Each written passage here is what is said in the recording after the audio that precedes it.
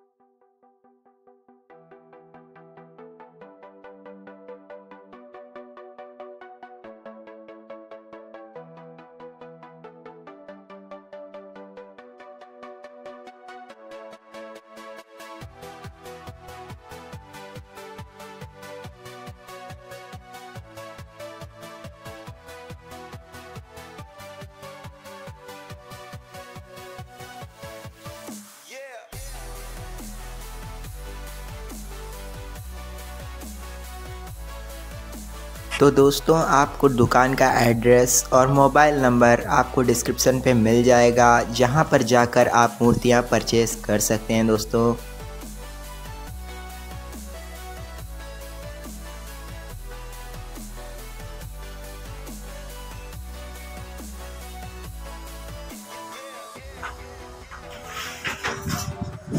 ये देखिए भैया, हमारे मूर्ति की जिनकी दुकान है।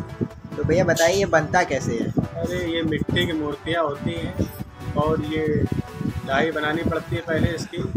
डाई भी बहुत महँगी पड़ती है, बहुत समय लग जाता है। अब इसको एक मूर्ति की डाई बनाने करीब पाँच छः हज़ार रुपये खर्चा आता है छोटी छोटी डाई। उसके बाद इसको मिट्टी दे के मिट्टी फोड़ के पूरी पानी में भिगोया जाता है। पानी भिगोने के बाद उसको जो है अलग छान के निकाला जाता है, कंकड़ अलग किए जाते हैं। फिर मिट्टी अच्छी अच्छी अलग की जाती है उसकी जो है। उसके बाद उसको जो है मशीन में डाल के उसको कस के जो है मिक्सिंग की जाती है। मतलब मिक्स किया जाता है मिट्टी को, ताकि इसमें जो है लसपन आ जाए। उसके बाद इसको उसको जो है पाटा बनाया जाता है। उसके बाद इसको सांचे से रख के मिट्टी कस के दबाया जाता है और एक मूर्ति बनाने में लगभग एक घंटा लग जाता है। और इस तरीके से पूरे दिन भर में पंद्रह बीस मूर्तियाँ तैयार हो पाती हैं। और पंद्रह बीस मूर्ति तैयार करने के बाद उसमें पेंट और भी नहीं हो पाता, सिर्फ़ शादी कच्ची नहीं कच्ची मूर्ति सिर्फ़ पंद्रह या बीस तैयार हो पाती है। उसके बाद इसमें रंग रोगन होता है, जो पानी कलर होते हैं, जो कोई किसी प्रकार का हानिकारक नहीं होता है, और शुद्ध मिट्टी ही होती है और शुद्ध होती है। और ये हंड्रेड परसेंट मिट्टी ही है, मिट्टी में कोई मिक्सिंग नहीं होती है, ना मिक्स करके कोई मिट्टी का माल बनाया जा सकता है। तो जैसा कि देखिए दोस्तों हम लोगों ने सुना भैया के मुँह से कि किस तरह से मिट्टी की मूर्तियाँ बनाई जाती हैं कितनी मेहनत लगती है इसको बनाने में। तो जैसा कि आप देख ही पा रहे होंगे कितनी अच्छी अच्छी मूर्तियाँ आपके सामने सस्ते रेट पर लगी हुई हैं। ये लोग कितनी मेहनत करके आपके लिए आपके घरों तक मूर्तियाँ पहुँचा रहे हैं जैसा कि आप देख ही पा रहे होंगे वीडियो में। तो दोस्तों जल्दी से वीडियो को एक लाइक एंड सब्सक्राइब कर दीजिए ताकि आने वाली वीडियो की नोटिफिकेशन आपको सबसे पहले मिले दोस्तों। तो चलिए तब तक के लिए बाय बाय अब हम फिर से मिलेंगे अगली वीडियो में।